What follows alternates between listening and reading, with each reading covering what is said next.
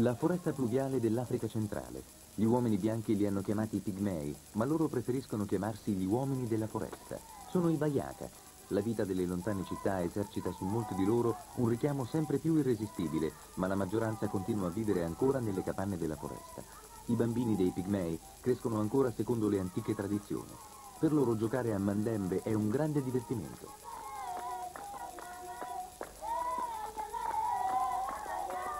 Mandembe è lo spirito buono della foresta, che i Bayaka invocano sempre quando hanno bisogno di essere aiutati nella caccia.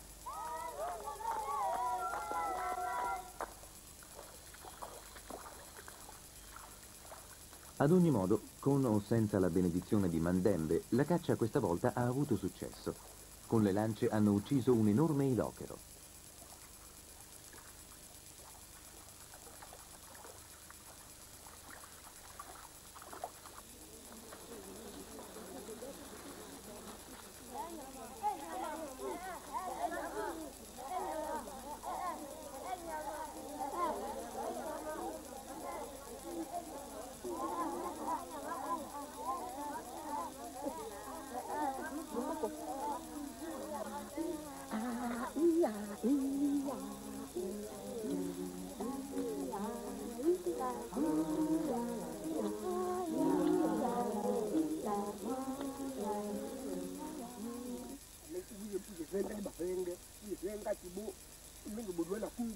Passione e ricchezza di particolari, Eoundi racconta lo svolgimento della caccia, degli ilocheri nella radura, della fuga nel bosco e di Mokpalo che alla fine ne ha preso uno.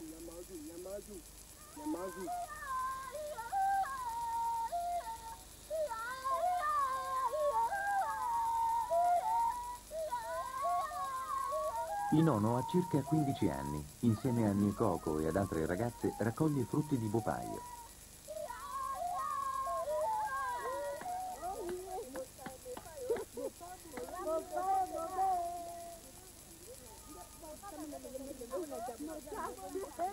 I Bayaka, durante tutta la stagione delle piogge, che va da aprile fino alla fine di novembre, si dedicano alla raccolta di frutti e di semi.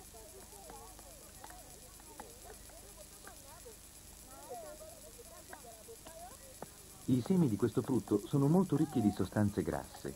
Arrostito e schiacciato è uno dei componenti principali dell'alimentazione quotidiana. Anche gli animali della foresta lo apprezzano. Gli uomini non sono presenti. La raccolta dei frutti di bopaio è un compito assegnato alle donne e ai ragazzi. Tra i Bayaka c'è una suddivisione rigida del lavoro.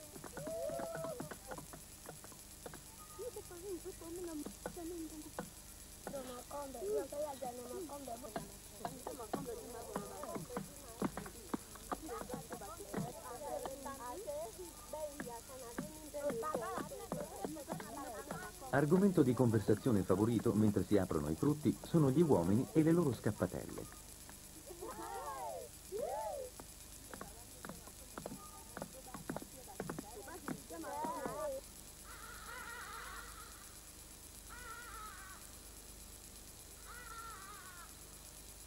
Ndima e Talika appartengono a un'altra tribù che ha le sue capanne a circa tre ore di cammino da dove vive Inono.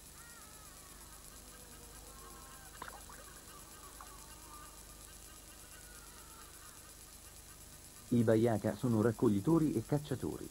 Già dalla prima infanzia i bambini imparano l'uso della lancia.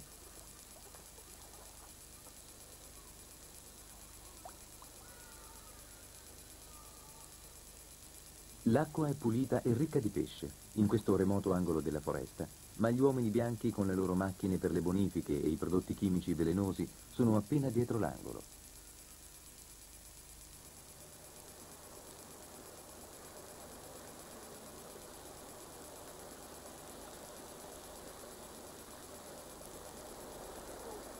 Una pausa rinfrescante dopo la raccolta della frutta.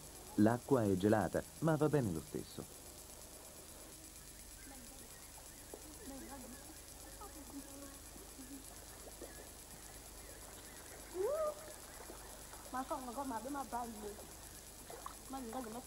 Ora le ragazze vogliono andare a catturare un po' di pesci, proprio laggiù dove hanno sempre avuto fortuna.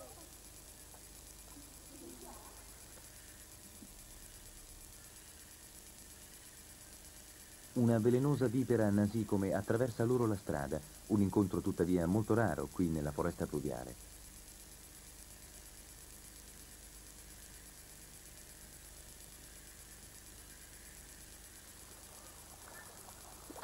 Ndima e Talika sono qui già da tempo.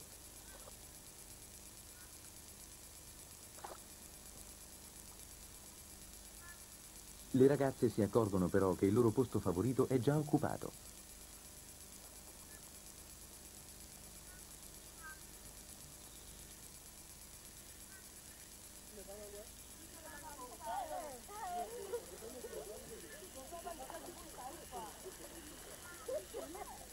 Ndima ha già messo gli occhi addosso a Inono.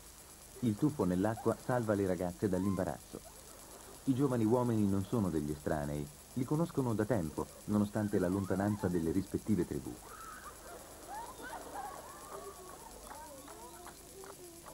Di nuovo nella capanna di Inono.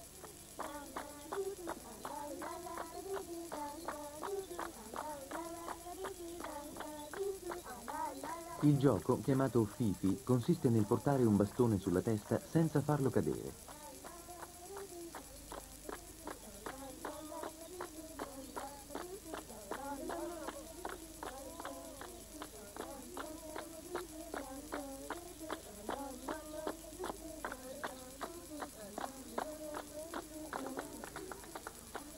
La cultura dei Bayaka è ricca di danze e di giochi per bambini, ma purtroppo la loro pratica è sempre meno diffusa. Nie Coco e le altre ragazze portano rami freschi per rifinire le capanne. Le ragazze più adulte vivono in quattro o cinque in capanne comuni.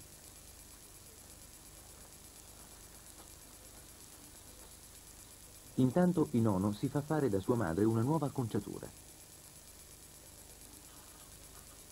Mokpaio, il bravo cacciatore, costruisce un dio.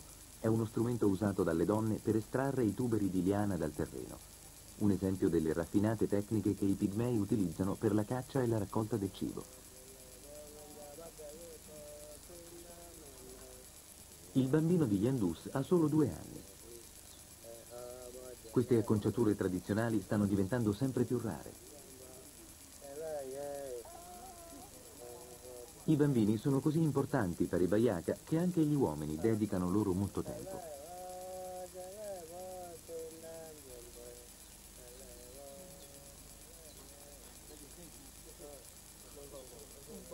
All'improvviso Ndima e Talika arrivano al villaggio.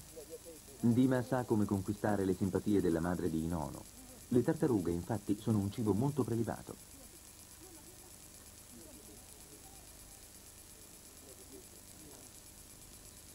Non sembra sia necessario un saluto speciale. Entrambi sanno di essere i benvenuti ed è anche un'occasione per scambiarsi notizie sulle rispettive tribù.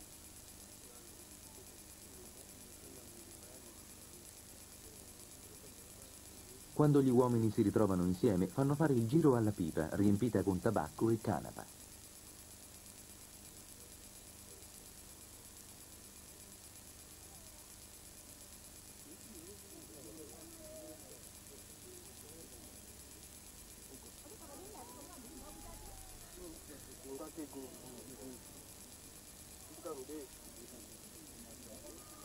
Mokpalo è arrivato e chiede dove sia la capanna di Indima e chi ci viva.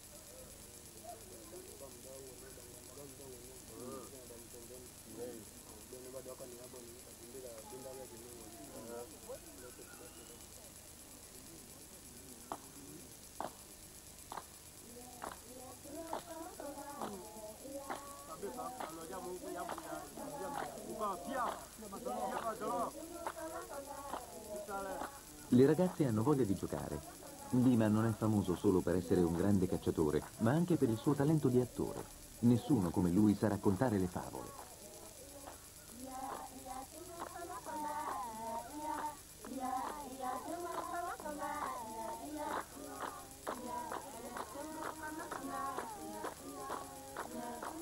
Viste le circostanze, non vuole assolutamente farsi scappare questa occasione.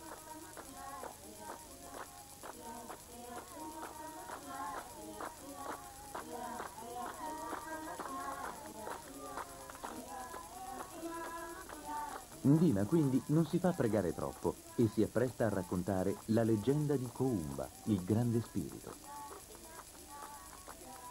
La storia si svolge al tempo in cui tutti gli esseri viventi erano uomini, anche gli scimpanzé. Un giorno la madre di uno scimpanzé trovò Koumba morto e lo gridò a tutti. Per i funerali vennero da molto lontano. Sumbu, uno scimpanzé, prima tagliò un albero per avere legna da ardere, poi, impazzito, si gettò sulla folla e uccise moltissima gente. I lamenti e le grida risvegliarono Koumba dal suo sonno mortale.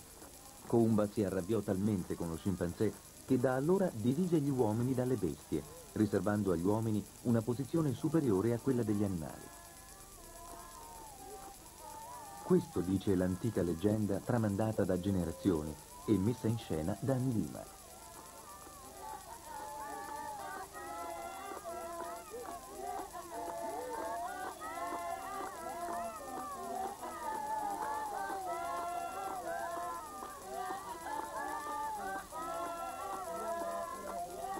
Le vecchie storie restano vive solo nelle capanne nel cuore della foresta. Altrove, dove ci sono ormai solo strade, tutto questo non ha ormai più alcun valore.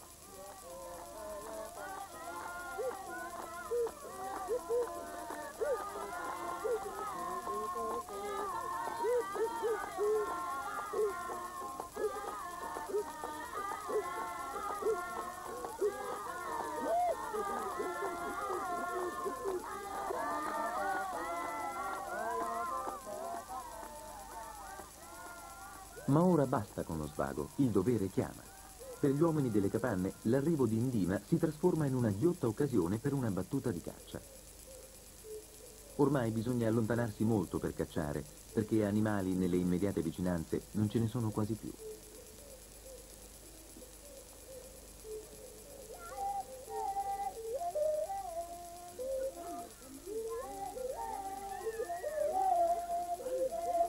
Inono, Auco e Kao intanto vanno alla ricerca di tuberi di liane.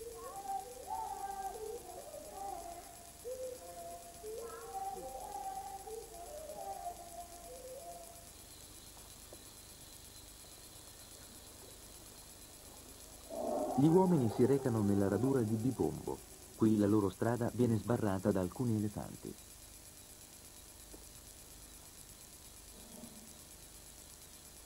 Gli elefanti della radura sono praticamente irraggiungibili per le lance dei cacciatori. Queste radure sono formate dall'attività incessante degli animali che in queste zone cercano i sali minerali, così rari nel povero terreno della foresta pluviale e così preziosi per una sana crescita delle ossa. Sanne, zoccoli, becchi e musi scavano in continuazione fino a formare enormi buche sotto le radici degli alberi.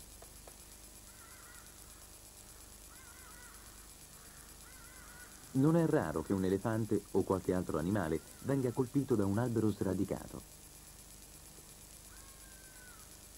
Questi sono caduti ad opera degli elefanti.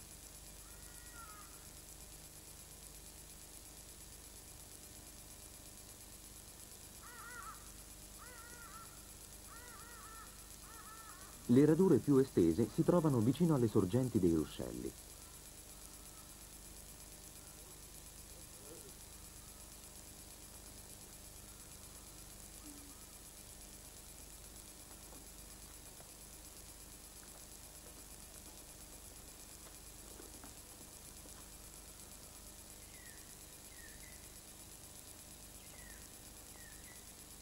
Ormai gli uomini sono in cammino da diverse ore e non hanno avvistato nemmeno una preda.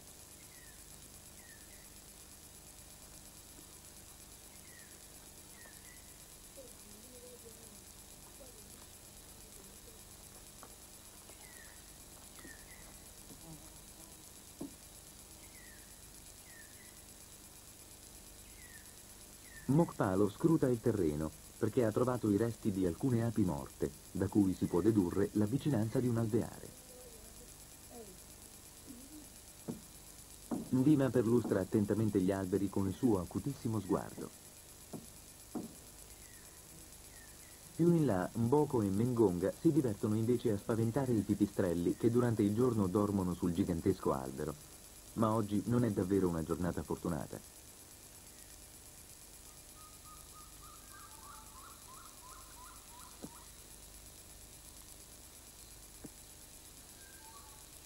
Inono sta tranciando pezzo per pezzo i tuberi di Esouma, che sono lunghi dai 2 ai 3 metri. L'attrezzo, che si chiama Dio, è lungo quasi 5. I tuberi di Esouma e delle altre liane sono tra le principali fonti di alimentazione dei Bayaka. Ecco un germoglio del tubero di Esouma.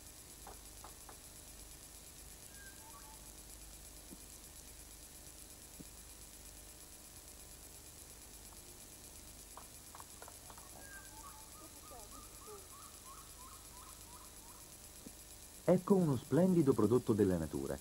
È il velo di dama, un fungo velenosissimo della famiglia delle spugnole.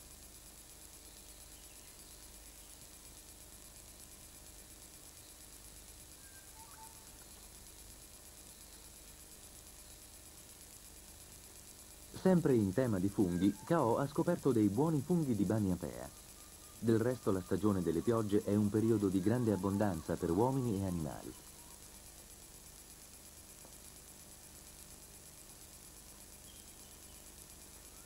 Dopo una lunga ricerca, sembra che la fortuna finalmente sorrida ai cacciatori.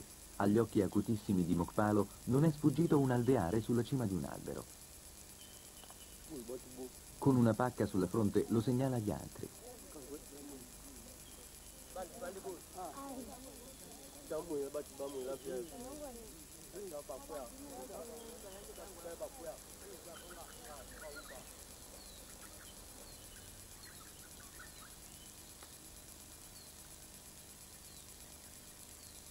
Ndima prova la tenuta della liana, quindi comincia a salire con l'ascia in spalla.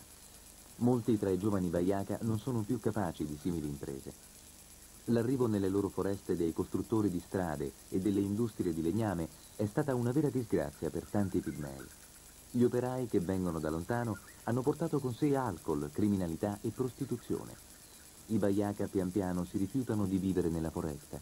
Alcol e hashish li tengono legati ai villaggi più grandi. Ndima è uno dei pochi che non si è fatto incantare da questi richiami e torna sempre volentieri nella foresta. Ma Mondele prepara una torcia fumogena con cui Ndima terrà lontane le api. Talika intanto porta con sé una liana con cui verranno fatti salire il cesto per il miele e la torcia.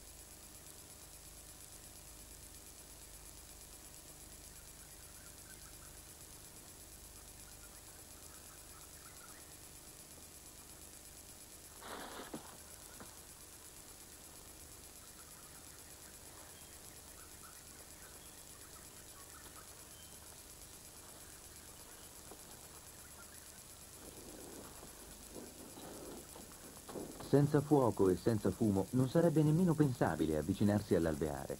Le foglie verdi producono molto fumo.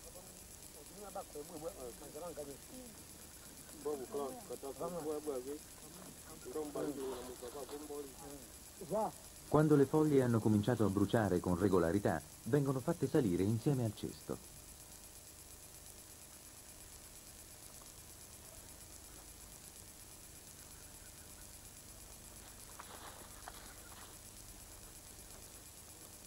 Le api reagiranno aggressivamente?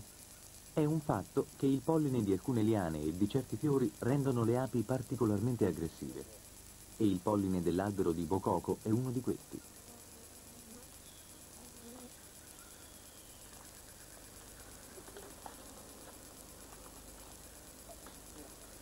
I favi devono essere staccati con l'ascia.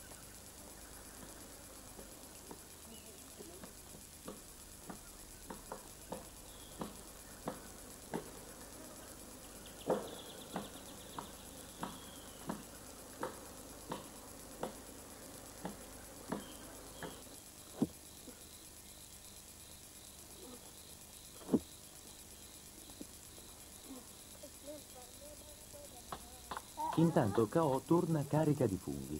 Ha avuto fortuna ed è stata brava e attenta. Ci vuole una forza enorme per fare questi buchi così profondi nella terra dura.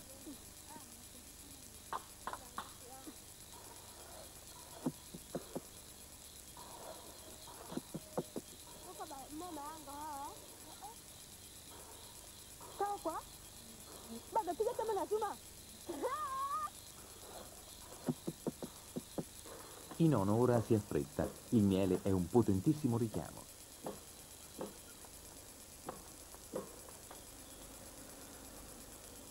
Ancora non hanno preso il miele, mentre le api ora furiose attaccano.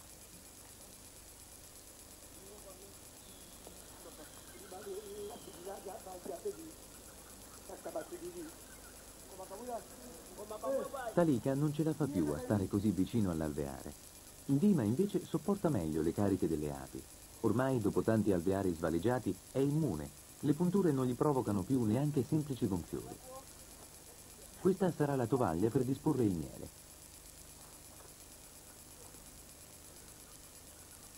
Il primo cesto pieno di miele viene finalmente calato giù.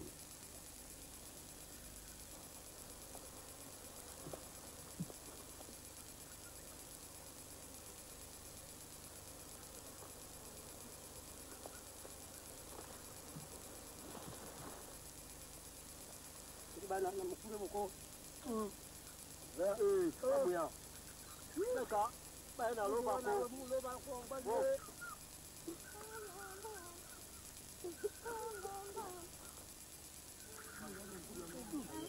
Hãy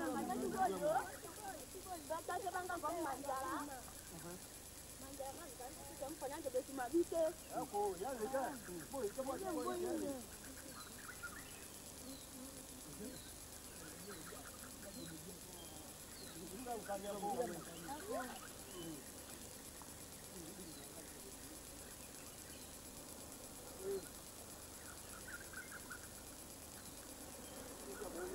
Nessuno si spaventa seriamente per le api che sciamano minacciose.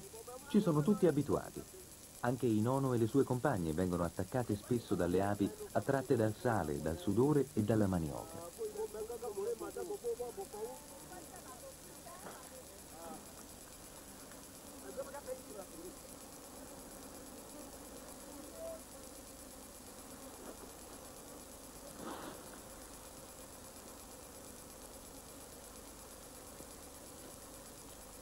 Nell'alveare ci sono ancora molti altri favi.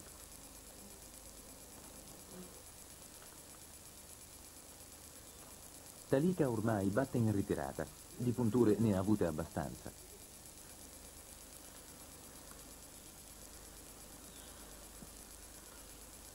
Una parte del miele è destinata alle donne e ai bambini.